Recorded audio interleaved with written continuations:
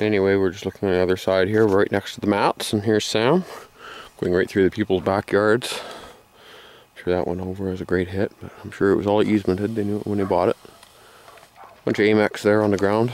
No big hazard there to the people that know it's not that big of a deal. It's fertilizer, I guess the uneducated, it would be a big panic. Got some stemming boxes here. What they go and stem the holes with. Pea gravel.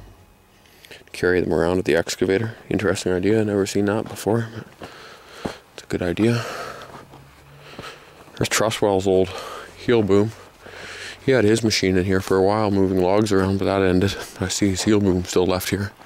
It was on that cat excavator earlier. It was in an earlier video. What do you think, Sam? I guess that's the site office over there.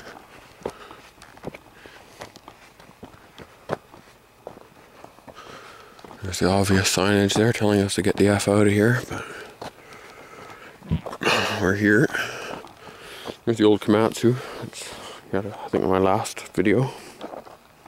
So we've got that on video. Here's our wheels home. So you ready to get going? Got dinner waiting. Maybe we'll do one more walk around. Want to do the walk around of the Hitachi excavator?